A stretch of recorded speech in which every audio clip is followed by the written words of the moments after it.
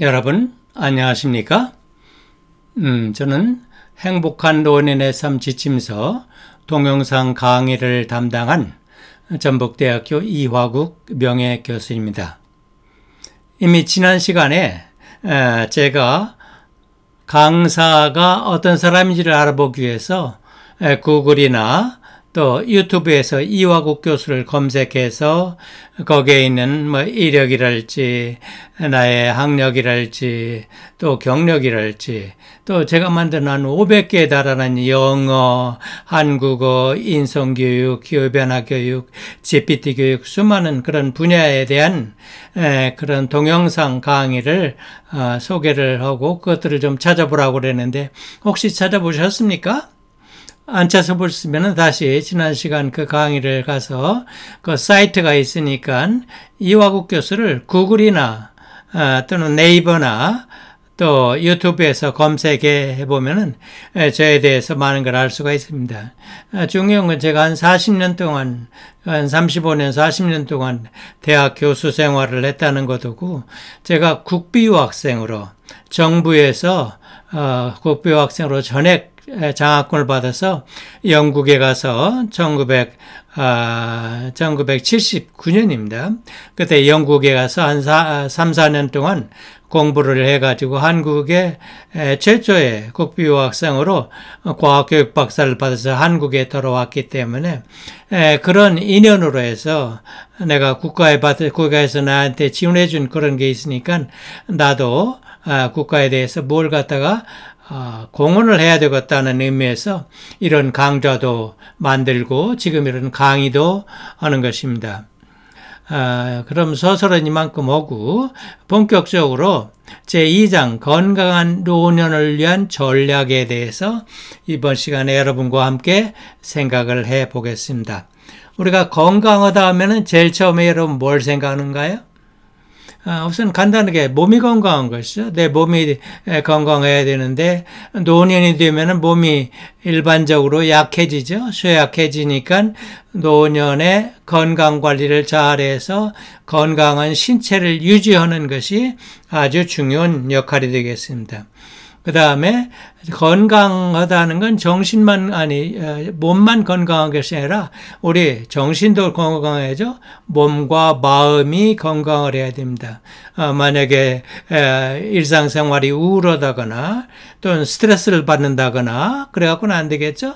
하루하루가 그저 기쁜 마음으로 즐거운 마음으로 긍정적인 자세를 가지고 생활할 수 있도록 그런 정신 건강을 계속 증진을 해야 될 그런 필요가 있는 것이고요. 그 다음에 세 번째 전략은 만성 질환으로부터 우리가 그걸 좀 예방으로 관리하는 겁니다. 만성 질환이라는 것은 노년이 되면은 만성 질환이라 그러죠. 제일 대표적인 만성 질환이 뭡니까? 고혈압. 그렇죠? 그다음에 많은 사람들이 또 당뇨를 앓고 있죠. 또 어, 고지혈증을 앓고 있고 어떤 사람들은 또 어, 나이가 들었는데도 살찌기는 그냥 비만이 돼가지고 어, 비만이 되면 여러 가지 질병의 원인이 되겠죠. 그런 걸 어, 걱정하는 사람이 있으니까 이런 만성 질환을 갖다 예방하고 관리하는 것을 저, 좋은 전략을 알아야 내가 건강한 노년을 보낼 수 있기 때문에 그에 대해 설명을 해야 될 것이고요. 그 다음에 노년에 이런 건강 관련 정책이나 제도가 국가나 지방자치단체에서도 노인들이 건강할 수 있도록 어, 노인회 같은 거 또는 경로당 같은 거 이런 걸 만들어 가지고 어, 여러 가지 다양한 지원을 하고 있죠. 그래서 이런 관련 정책이나 제도가 어, 뭐가 있는가를 알아보는 것도 노년을 위한 그런 전략에 대한 지식을 쌓고 이해를 넓히는 게 되겠습니다. 그 다음에 마지막으로 건강한 노년을 위한 그런 실천 방안. 이건 여러 가지 이런 정보들이 있겠죠? 앞에서 얘기한 것들에 대한 아, 정보들이 있을 것이고, 그 다음에 정보들 여러분이 접해가지고 그걸 이해를 했다고 그러면 그 뭐가 됩니까? 여러분의 지식이 되죠? 그러나 우리가 어떤 지식만 가지고는 이런 노년이 건강할 수가 없습니다. 뭘 해야 됩니까? 실천을 해야죠. 신체 건강을 위해서, 정신 건강을 위해서, 만성 질환 예방을 위해서 우리가 무엇을 어떻게 실천해야 될 것인가 하는 그런 실천 방안에 대해서 어, 이번 시간에 여러분과 함께 공부를 해볼 것입니다. 그럼 제일 먼저 건강을 위한 그런 전략으로서 신체 건강에 대해서 생각을 해보겠습니다. 우리가 우선 몸이 건강하지 않으면 뭐 어, 여러분 만사가 귀찮죠? 어, 몸이 예를 들어서 통증이 있다거나 어, 또는 어, 스트레스가 있다거나 또는 어, 떤 몸이 약해가지고 힘이 없다거나 해갖고는 어렵겠죠? 그러니까 이런 신체 건강을 유지하기 위해서는 어, 우리가 필요한 것이 있습니다. 제일 첫째는 규칙적인 운동을 해야 됩니다. 규칙적인 운동. 그래서 나이가 들어도 규칙적인 운동.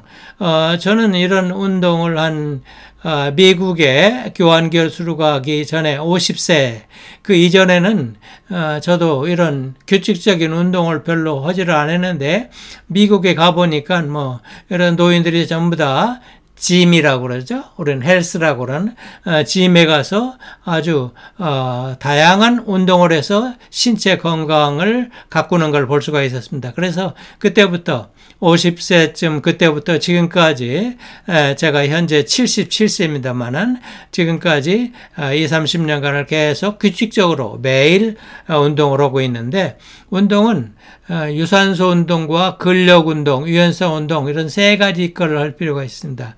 유산소 운동이라는 건 예를 들어서 우리가 달리기를 한다거나 걷기를 한다거나 하는 거죠. 이런 거를 할 때 일반적으로는 어, 이런 학자들이 얘기할 때 일주일에 150분 이상 운동을 하라고 합니다. 그래서 만약에 는 5일을 나누어서 하면은 30분씩 30, 3, 55 만약에 3일간 하자면 50분 그러면 3, 55, 150이죠? 이렇게 하도록 하고, 그 다음에 운동을 하자 그러면 어떤 날은, 네, 아이고, 오늘 좀 하루 좀 쉬었으면 좋겠다 하는 생각이 있지만은, 이걸 습관화를 시켜야 됩니다. 어, 운동 동기를 부여해서 어떤 동료를 만나서 헬스에서 같이 운동을 한다거나 또 운동 앱을 어, 앱을 찾아가지고 운동하는 방법 같은 것을 보고 그걸 봐가면서 운동하거나 해서 이렇게 습관적으로 운동할 수 있도록 하는 것이 어, 개인 체력 수준을 유지하는데 아주 좋은 것이고요. 그다음에 운동할 때 조심해야 될 것은 라우니 나이가 들어서 운동하면은 부상 예방 부상 예방을 해야 됩니다. 아, 잘못하면은 어떻게 해요? 넘어질 수도 있고, 그렇죠? 넘어져 가지고 어, 예를 들어서 골절상을 당할 수도 있죠. 그러니까 운동을 할 때 스트레칭 같은 걸 미리 해가지고 몸을 푼 다음에 몸을 푼 다음에 일반적으로 어, 이런 헬스에 가면은 걷기 먼저 저 트레딩 머신이라고 그래서 걷는 그런 운동을 하는데 그거 하기 전에도 좀 스트레치를 먼저 하고 그런 유산소 운동을 하는 게 좋을 것입니다. 그 다음에 잘 먹어야 됩니다. 잘 먹어야 돼요. 규칙적으로 운동하고 두 번째 잘 먹어야 되는데 우리의 몸에 필요한 영양소가 있죠. 제일 대표적인 영양소는 탄수화물, 단백질, 지방, 비타민, 미네랄 이런 것이 골고루 필요한 만큼 섭취가 되도록 잘 먹어야 되는데 그걸 위해서는 이런 과일이나 채소, 채소, 과일 이런 걸 에, 잊지 말고 먹어야 된다고 그러죠. 채소, 과일. 그 다음에 통곡물, 통곡물 중에서도 이런 저 현미를 추천하는데요. 현미랄지, 그 다음에 보리랄지, 귤이랄지 이런 걸 추천하는데, 그 다음에 저지방 단백, 저지방 단백질. 예를 들어서 지방이 적은 단백질, 뭐, 뭐가 있겠습니까? 달걀 같은 거랄지. 예, 그런 게 있고, 요즘 뭐 두유 같은 게 좋죠? 두유 같은 거. 그 다음에 지방 중에서도 건강한 그런 예, 지방을 먹고, 나이가 들으면은 이런 고기도 잘 먹어줘야 됩니다. 고기도. 고기들은 일반적으로는 소고기보다는 돼지고기, 돼지고기보다는 닭고기, 닭고기보다는 오리고기가 좋다고 그러는데 그런 좋은 지방을 이런 고기를 통해서 먹고 그 다음에 조심해야 될 것은 과식은 금물입니다. 과식은 어떤 균형 잡힌 식단을 골고루 먹는 건 좋지만 과식은 내 신체 건강을 해치는 가장 어, 중요한 요인이 되기 때문에 과식을 하고 그 다음에 나이가 들수록 수분을 좀 충분히 섭취해야 우리의 피부도 좀 어, 탱탱해지고 어, 우리 건강, 신체 건강하는데 도움이 될 수가 있습니다. 그 다음에 우리가 매년 또는 2년 단위로 2년 단위로 국가에서 건강 검진을 하죠. 건강검진을 해가지고 뭘 알려줍니까? 일반, 일반적인 건강검진, 신장이 어떻고, 몸무게가 어떻고, 뭐 이런 것들은, 어, 또 뭐도 해줍니까? 음, 혈액검사도 해주죠. 그 다음에 시력검사도 해주죠. 어, 어, 그래서 여러 가지 청력검사도 해주고, 이런 여러 가지 다양한 검사를 통해서 질병을 조기에 발견하고 예방할 수 있도록 그러고 뭐 또 해줍니까? 여러 가지 암 검사도 해주죠. 암 검사도 해서 이런 건강한 검진을 통해서 우리는 건강 관리를 개선하고 어떻게 어떤 자기가 병이 있다면 어떻게 치료할 것인가는 계획을 수립하는 게 좋고요.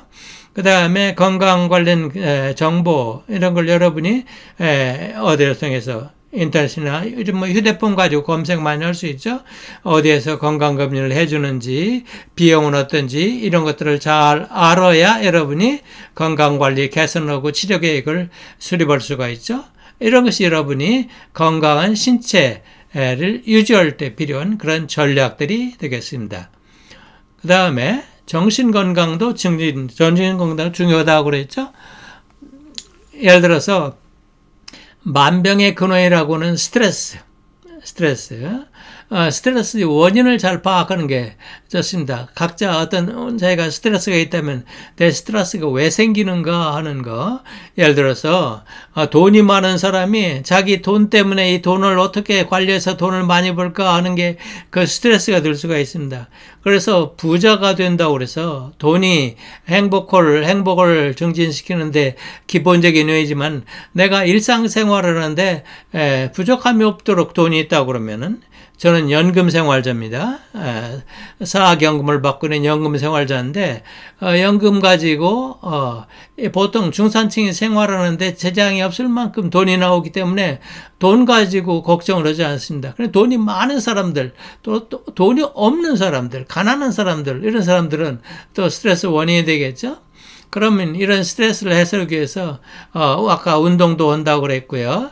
그 다음에 명상이나 이런 취미 활동 같은 걸 통해서 원인에 따라서 이런 스트레스 해소할 수 있도록 노력하고요. 그 다음에 이런 전문가들한테 스트레스 해소 관리하는 기관이랄지 관리 자료를 찾아보고 어, 전문가들한테 하고 또는 유튜브 같은 걸 여러분이 찾아봐도 되죠.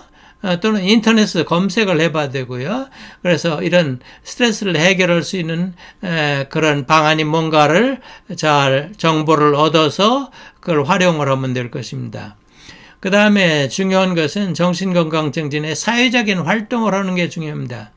내가 정신건강을 위해서 가만히 앉아갖고 어, 명상만 하루 종일 하고 있다고 그래서 정신건강이 좋은 것은 아니고요. 내가 뭔가를 활동을 해야 됩니다. 활동을. 제일 좋은 활동은 어떤 봉사활동. 제가 지금 여러분한테 하고 있는 이게 봉사활동이죠. 봉사활동. 그 다음에 동호회를 만들어가지고, 동호회. 예를 들어 산악동호회를 만들어서 등반을 일주일에 한 번씩 한댈지, 그 다음에 지역사회의 어떤 프로그램, 어, 지역사회에 예를 들어서 어, 요즘 어, 노인들이 쓰레기 줍는 그런 지역사회 봉사활동도 많이 하죠. 그런 걸 한달지, 어, 또는 어, 사회활동 으로 어, 저는 경로당에, 제 아파트 경로당에 가가지고 경로당에 그 회장을 하면서 봉사활동을 하고 있습니다. 봉사활동을. 이렇게 어떤 사회적 봉사활동에 참여하는 것이 정신건강에 좋은데, 이것은 왜 그러냐면은 외로움을 강, 외로움이 이렇게 이런 활동을 안 하면 외롭죠? 어, 외로움을 감소시키고 그 다음에 이런 활동을 통해서 정신 건강을 증진할 수가 있고 그 다음에 사람들을 만나는 거죠. 여러 사람을 만나 가지고 어, 이 얘기도 하고 제 얘기도 하고 물론 어, 사람을 만나서 아주 뭐 유익하고 그런 얘기만 할 수는 없을 겁니다. 어, 그냥 어, 어, 그냥 흘러가는 정치 얘기를 할지 요즘 이제 뭐 좀 있으면 선거가 있습니다만 관한 정치 얘기를 할지, 예, 그 다음에 어, 자기가 알고 있는 그런 훌륭한 사람들에 대한 얘기를 할지, 어, 이런 얘기들을 갖다가 소통 정진할 수 있고요. 어, 그럼 이런 관련 정보들 참여기관이랄지 사회활동 프로그램이 뭐가 있는가 하는 관련 정보를 잘 찾아야 이런 전략을 제대로 세울 수가 있겠죠. 그 다음에 중요한 건 긍정적인 사고입니다. 긍정적인 사고. 우리가 살아가는데 긍정적인 삶의 자세를 갖추는 것이 행복으로 인 아주 중요한 조건입니다. 예를 들어서 지금 자기가 주스를 마셨는데 50%를 마셨습니다. 그걸 바라보는 시각은 두 가지가 있습니다. 아이고 반절이나 먹어버렸네. 반절밖에 안 남았네. 이건 부정적인 시각이죠. 아, 지금 먹었는데 반절이나 남았네. 이건 똑같은 걸 보는 시각이지만은 긍정적인 시간입니다. 긍정적인 시각. 그래서 이런 긍정적인 시각을 갖기 위해서 하나는 감사일기 쓰기예요. 이건 저도 습관화를 못 시켰습니다만은 어, 저녁에 간단하게 뭐 메모장 같은 데다가 자 오늘 내가 하루를 살았는데 어떤 감사한 일이 있었는가 예를 들어서 어, 어, 누가 어떤 사람이 나한테 어, 어떤 길을 내가 길을 몰라서 물어봤더니 길을 안내해줬달지 여러 가지 감사하는 일이 있겠죠. 감사할 수 있는 일을 쓰고 그 다음에 긍정적인 자기 대화. 아 나는 오늘 하루 어떻게 살았나. 에, 좋은 것은 여러분이 자기 전에 자기 전에 잠깐, 자기 전에 잠깐, 아, 내가 오늘 하루를 어떻게 살았나 이렇게 반성해 가면서, 아, 이런 자기하고 긍정적인 대화라면 우울감도 감소가 되고, 삶의, 삶의 만족도도 향상이 될 것입니다. 그리고 될 수 있으면은 어떤 사람을 만나는 것도 긍정적인 사람들을 만나서 교류하고요. 에, 책을 본다거나 이런 어떤 프로그램을 하는 것도 긍정적인 그런 프로그램들을 갖다 이용해서 어, 자기의 긍정, 음, 긍정적인 어, 사고 방식을 갖도록 하는 것이 중요한 건강 증진의 전략이 되겠습니다. 다음에 만성질환 예방하는 게 중요하죠. 우리가 지금 어, 평균 한 80세 산다고 그러죠. 80세 산다고 그러는데 80세까지 그저 오늘까지 팔팔하게 살다 내일 죽는 사람은 거의 없습니다. 아, 아주 재수가 좋으면은 그저 1, 2는 아프다 죽고요. 그 다음에 보통은 5년, 뭐 7년, 어, 좀, 어, 좀 오랫동안 아는 사람들은 그 실병 한 10년 동안을 갖다가 병상에서 지내다가 어, 생을 마감을 하는 경우가 있죠. 이런 만성 질환이 만성 질환이 어, 예를 들어서 제일 대표적인 거 몇 가지를 할 건데 어, 고혈압이랄지 당뇨랄지 암이랄지 치매랄지 하는 것들이 있는데 그 몇 가지 것에 대한 그런 어, 예방 및 관리 전략에 대해 생각해 보겠습니다.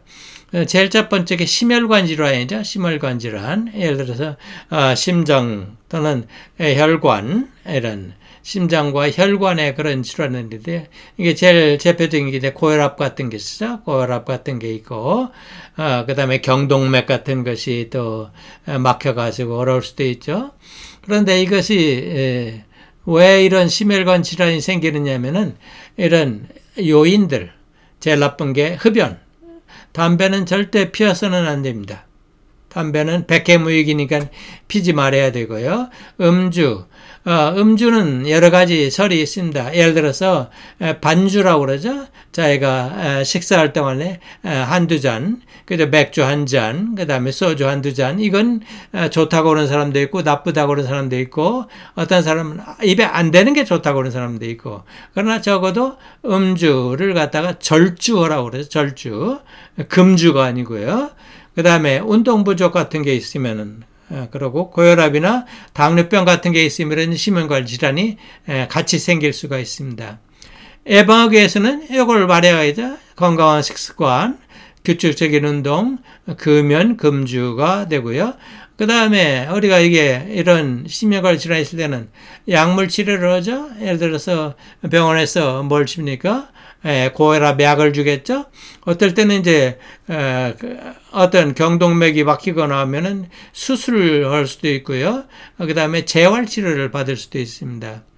그래서 이때 관련된 어, 그런 정보들은 갖다가 아, 심혈관 질환 예방 및 관리 기관이나 아, 질환 정보를 갖다가 인터넷에 찾아가지고 어떻게 이런 심혈관 질환을 잘 예방하고 관리할 것인가를 여러분이 실천에 옮겨야 될 것입니다.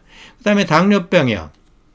저도 지금 2형 당뇨병이 좀 있습니다만은 2형 당뇨병이 대부분 당뇨병 한국 사람들 2형 당뇨병이라고 그러죠. 인슐린과 관련된 당뇨병입니다. 당뇨병이 있어서 이 당뇨병을 가지고 여러 가지 어려움을 겪는 사람이 많습니다. 그래서 당뇨병은 지금 뭐가 문제냐면 어, 당뇨병 자체보다도 당뇨병의 부작용이 큰 문제입니다. 당뇨병의 부작용 중에 가장 큰 것이 어, 실명하는 것이죠. 실명하는 거. 그 다음에 당뇨병의 부작용 중에 발 같은 게 족부, 다리라고 그러죠. 발가락 같은 것이 썩는 그런 경우도 있습니다. 그래서 이런 당뇨병 관리를 잘 해야 되는데 이건 비만이랄지 운동부지랄지 가족력, 유전적인 요소가 어, 한30% 50%가 있고 나이가 들면 다들 이렇게 당뇨병이 많이 생기니까요. 그럼 이걸 관리하려면은 건강한 식습관 아까 얘기했죠. 그 다음에 규칙적인 운동 앞에서 얘기했죠. 그 다음에 체중 관리를 잘 할 필요가 있습니다. 또 이걸 어, 이런 이미 장르병이 걸렸다고 그러면 약물 치료를 하고 인슐린 치료를 하고 식이요법을 해가지고 어, 이런 당뇨병을 치료를 해 나가야 되고요. 어, 이런 정보들은 이런 데서 잘 찾아가지고 자기한테 적절한 그런 예방 및 관리 방법을 실천할 수가 있어야 되겠습니다. 다음에 이런 어, 이런 만성질환 중에 무서운 것은 암이죠. 암.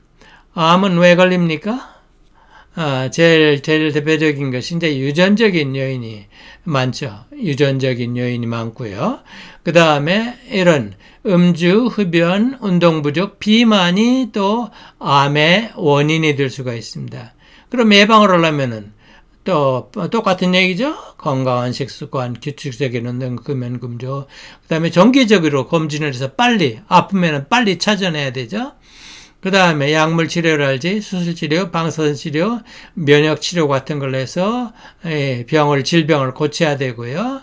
어, 관련 정보를 잘 알아가지고 이 암을 관리를 해야 될 것입니다.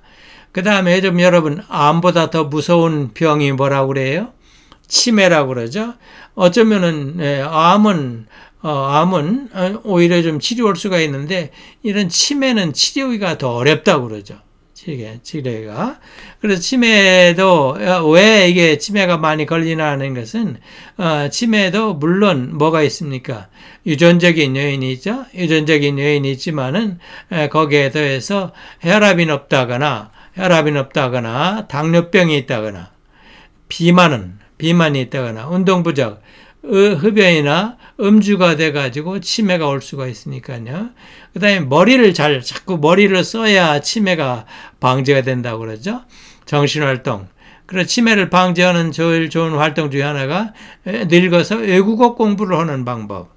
또는 저는 이제 유튜브 유튜브를 아주 좋아합니다만은 유튜브를 이런 동영상 500개를 만들 뿐만 아니라 시간이 있으면은 유튜브에 들어가서 제가 공부하고 싶은 것을 공부하고 싶은 걸 찾아가지고 이렇게 공부를 하면은 지금도 하루에 저는 보통 아, 너댓 시간은 너댓 시간은 이렇게 아, 유튜브를 제작하거나 또는 유튜브를 보고 학습을 하거나 아, 간단한 그런 어, 영어 학습, 어, 회화 공부를 한다거나 또는 중국어 공부를 한다거나 이런 어, 걸 하는 게 좋고요.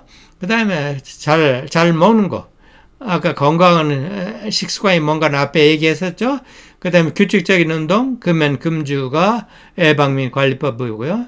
이제 약물 치료할지 비약물 치료, 인지 재활을 해서 어디 가서 이런 양로, 양로원에 가가지고 또는 이런 치매를 치료해주는 그런 기관이 있죠. 관리해준 기관이 가서 어, 이런 전문가들한테 이런 치매를 갖다가 아, 치료하는 그런 돌봄을 받는 것을 어, 볼 수가 있습니다. 다음에 건강 관련 정책과 제도는 정부에서는 국민 건강보험을 가지고 어, 모든 사람이 지금 국민건강보험이 있죠? 보험료를 내 가지고 질병 치료 예방에 그런 비용으로 지원해 가지고 노인 건강 검진도 따로 해주기도 합니다. 또는 장애인 복지 서비스 장애인들이 예를 들어서 어떤 다리가 불편해서 이동이 어려운 사람들은 그런 사람들 갖다가 이동을 시켜줄 수 있는 그런 것들을 하고요. 그래서 다양한 또 만성질환 관리 프로그램 을 정부에서 제공을 해가지고 이런 어, 건강 어, 관련 정책이나 제도를 알려주기도 하고요. 어, 그런데 이런 어떤 의료 수비 접근성이 어려울 수 있습니다. 왜? 돈이 없어서 또는 정보가 부족해서 그래서 국가에서는 이런 서비스도 확대하고 비용도 주고 정보도 제공해서 우리의 노년의 그런 건강한 전략을 강화할 수가 있습니다. 그럼 구체적으로 어떤 실천 방안들이 있겠느냐? 다섯 가지 것을 앞에서 한 것들을 정리한 것입니다. 다시 건강한 생활 습관 유지라고 그랬죠? 쭉 보시면 알죠? 어, 정기적인 건강검진, 질병을 조기에 발견하고 예방하려면은 만성질환을 관리하다 여러 가지 건강관리 프로그램에 참여하고 약물 복용하고 규칙 준수하고 정보를 잘 습득을 해야 되죠. 그 다음에 정부의 의료 서비스, 지원 서비스를 잘 활용을 할 수 있어야 되겠습니다. 자, 이상으로 제 2차 시 강의를 마치고 다음 시간을 어, 뭘할 것인가를 간단히 예고를 해드리겠습니다. 어, 다음 시간의 강의는 의미 있는 노년을 위한 활동, 우리가 어떤 활동을 해야 되는데 어떤 의미 있는 노년을 위한 활동이 뭐가 있겠는가를 갖다가 한 몇 가지 그 하는데요. 제일 중요한 건 봉사활동을 하라고 그랬죠. 봉사활동. 그다음에 자기의 취미 활동 어떤 사람은 뭐 색스폰을 분다거나 요즘 뭐 하모니카나 오카리나 그런 걸 부는 사람 많죠. 그다음에 라인 댄스를 한다거나 그런 취미 활동. 그다음에 여가 활동. 여가 활동이라는 건 내가 아 뭐 뭐든지 필요 아무거나 필요하면은 취미가 있건 없건 자기가 여가 있어서 예를 들어서 걷기 걷기를 한낼지 그렇지 않으면은 어 그냥 어, 친구들하고 만나서 어, 잡담을 한들지 여러 가지 여가 활동을 할 수가 있습니다. 다양한 그 다음에 평생학습 평생학습은 중요하다고 그랬죠. 왜냐면은 어, 내가 치매를 예방하는데 좋은 방법 중에 하나가 평생학습을 계속 하는 것입니다. 계속 공부를 하는 거예요. 그러고 이런 노년을 시민 노년을 위한 실천 방안이 무엇일 것인가 하는 것들을 갖다가 함께 같이 다음 시간에 여러분과 같이 공부를 해보도록 하겠습니다. 이상으로 이번 시간의 강의를 모두 마치겠습니다.